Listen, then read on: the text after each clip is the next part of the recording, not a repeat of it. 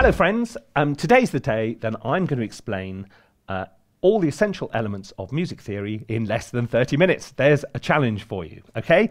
Now, there's two halves to music theory. There's how music is written down and there's how it's organized. For most people, to start with, how music is organized is far more important. So we're going to put how it's written down to one side and concentrate on the organization thing. Now, this is a note. Now, as most of you probably know, sound is caused by vibration. The faster vibration, the higher the note. The slower the vibration, the lower the note. So if you, for example, double the frequency of that note, you get that one. If you halve the frequency of that note, you get that one. Now, if you look at the piano keyboard, you will notice that there's a certain symmetry, a certain pattern to the whole thing. That there's these repeating patterns of uh, two black notes, three black notes, two black notes, three black notes. And those are divided up every time you double the frequency. The distance between that one and that one at the same point in the pattern is called an octave. Okay, and that's because one, two, three, four, five, six, seven, eight. Okay, the white there's eight white notes. If you then take that octave, we then divide it into 12 equal steps to get all the black and the white notes. 1, 2, 3, 4, 5, 6, 7, 8, 9, 10, 11, 12. Okay? Now, the distance between any one note and the next note up or down is called a half step. That's half step. Two half steps make a whole step, as you could probably work out. So if we go one, two, that to that is a whole step. That's a whole step. Okay, so half step, whole step, semitone, tone hang on, I can't go on talking about that note and this note. We need to start giving notes some names. And thanks to a, a 6th century Roman philosopher called Boethius, we can do that. He thought, what a wonderful idea. Allegedly, he was the first to come up with this, but he thought, what a great idea to give these uh, notes names, uh, which are letters. So that one is called A. Take a wild guess at what that one's called. B, exactly. C, D, E, F, G.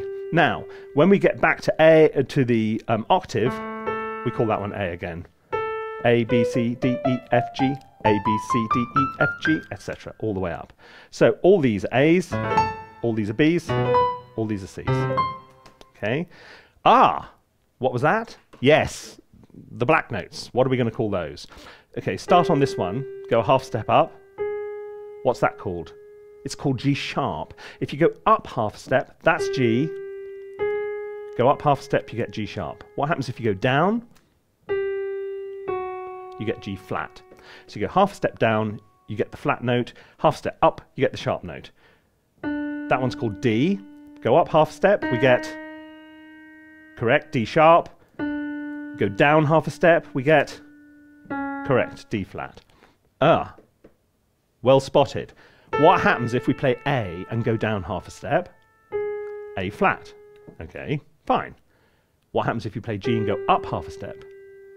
You get the same note, but it's called G sharp. So that note can be either G sharp or A flat. It's not actually that complicated to get your head around. It's like if you wanted to get to North Street and somebody said, How do you get there? You go, Oh, go down East Street and turn right. Or you might say, ah, no, go up Church Street and turn left. You're getting to the same place, you're just getting there by different routes. And it's very similar. So half a step up um, from G to G sharp, half a step down from A to A flat, and G sharp and A flat turn out to be exactly the same note. So we know what an octave is, we know how it's divided up, and we know how to name notes. Next question What is a scale and why does it matter? That probably sounds hauntingly familiar to you. What are you listening to, though, when you're hearing that scale? What makes that sound like a major scale? The answer is it's the pattern of intervals. That's all a scale is. So if you play, starting anywhere on the keyboard, um, uh, intervals start, you start on the bottom and you go whole step, whole step, half step, whole step, whole step, whole step, half step, it will sound like a major scale. It's a pattern of intervals. Start on C, go up a whole step, another whole step, then a half step, then three more whole steps, one, two, three, and a half step. whole step, whole step, half step, whole step, whole step, whole step, half step. Start anywhere and it will sound in a different place, but it will still be recognizably a major scale. Start, for example, on G. Whole step, whole step, half step, whole step, whole step. Ah! Don't panic! We can't go to um, that F because we need to go up a whole step, so we have to go to F sharp and then fi finish off with a half step there. So in order to play a scale of G major, we have to use an F sharp. And F sharp is what is known as the key signature of the scale of G major. In other words, you can't play G major without an F sharp. That is what key signatures are. Uh, they define what you need in order to be able to play that scale. Take another one, for example. Um, start on D, whole step, whole step to F sharp, half step, whole step, whole step, ah. Another whole step takes us to C sharp. So in order to play the scale of D major, we have to use an F sharp and a C sharp. So we have to use two sharps to play um, the scale of D major, and that means the key signature D major has got two sharps in it, F sharp and C sharp. Simple as that. Okay? So far, so good. Now, you've probably heard of major and minor. What is all this major and minor stuff about? Well, they're just different scales and they're just different patterns of intervals. So we know that a major scale goes whole step, whole step, half step, whole step, whole step, whole step, half step, or tone, tone, semitone, tone, tone, tone, semitone. A minor scale just has a different pattern of um, intervals, which gives it its characteristic feeling. So starting on A, uh, let's go whole step, half step, whole step, whole step, half step, whole step. Then we're going to do whole step, half step, whole step again, whole step, half step, whole step, and then a whole step. Okay? That is the natural minor scale. And if you started playing um, that sequence, a pattern of intervals, anywhere on the keyboard, you get a natural minor.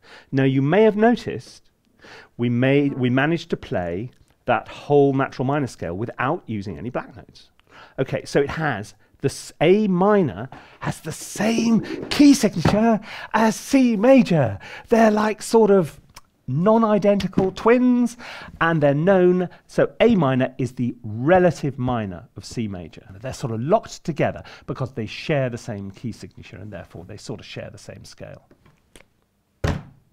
so far so good okay so we've done major and minor scales and um, we've done all kinds of other stuff key signatures let's just compare a major and a minor scale because I want to talk about intervals intervals are the distance between two notes on the keyboard. So from there to there is an interval, from there to there is an interval. So if we play C major scale, okay, if I then play C natural minor, going whole step, half step, whole step, whole step, half step, whole step, whole step, you'll notice first of all, just concentrate on the first three notes, okay, and the major scale it goes in the minor scale, it goes. So, what are we going to call the interval between that note and that note? That, that to that is called a major third because if you go up the major scale, one, two, three, three notes, you get to that note. If you've got the minor scale, you get to that note, and the distance between that note and that note is called a minor third. Okay, so a major third is made up of you go up effectively four half steps. Look, you go one, two, three, four. And if you go to a minor third, it's three half steps one, two, three. Now, but when we get beyond the third, four and five are the same in both major and minor. And that's why those intervals, that's a fourth. It's called a perfect fourth because it's the same in both major and minor. And that one is a perfect fifth because it's the same in major and minor and then you get mi- then you get major and minor thirds and sevenths, uh, sixths and sevenths as well. So, but that is a minor third. That's a major third. This is important because the next thing we're talking about is chords. Chords are simply playing sort of more than one note uh, at a time. An interval is normally two notes and a chord is normally three or more. So if we start on the first note of the scale, the root, that's C, now try playing, try this at home if you haven't done it already, the third and the fifth note of the scale. So one, two, three, four, five. Okay, so play one, skip one, play one, skip one, play one. And what you get is a three note chord called a triad. And that triad is known as C major because it's the chord formed on C and it's a major chord because the distance between the root and the middle note is a major third. Now, if we go up one note, what's the distance between that one and that? It's not a major third, it's a minor third. So that is D minor, okay? C major, D minor. And if you look, okay, so we're going one, two, three, four semitones or half steps up, and you get a major third. You build that into a chord and you get a major chord. Start on D, you only go up one, two, three semitones. So you get a minor third is the interval there. So you get a minor chord. So the pattern in a major scale, you can form a triad on each degree of the scale. So that's chord one, chord two, chord three, chord four, chord five. Okay, um, so that's how chord one, chord five, chord six, chord four. C major, that's G, that's a chord of G major, then go up to A minor, which is chord six, because it's the sixth note of the scale, and that's chord four, because it's on the fourth note of the scale. There's a wonderful diagram which brings this all together. This may make your brain explode, but I'm going to do it anyway. Here is a fantastic diagram which explains how all this relates to each other. Um, you'll need to look at it for a bit because it, ta it, takes a little while to get your head around. But look, right at the top there um, is uh, uh, is C. Now, as we know, you can play a C major scale without any black notes. There's no accidentals in it. There's so there's no no sharps or flats. If you go up to the fifth note of the scale, okay, you get to G. Now, when we try and play a major scale based on G, as we explained before, we have to use one sharp. If you go up to the fifth note of the scale of G, you end up on D. Now we play a major scale, you have to use both F sharp and C sharp. Every time you go up a fifth, you have to add a sharp to the key signature. In all, and it's just down to that pattern of intervals we were talking about before. So every time you go one uh, tick round to clockwise, so it starts on C with no um, sharps, goes to G with one sharp, goes to D with two sharps, goes to A with three sharps, goes to E with four sharps. Now, what about going down?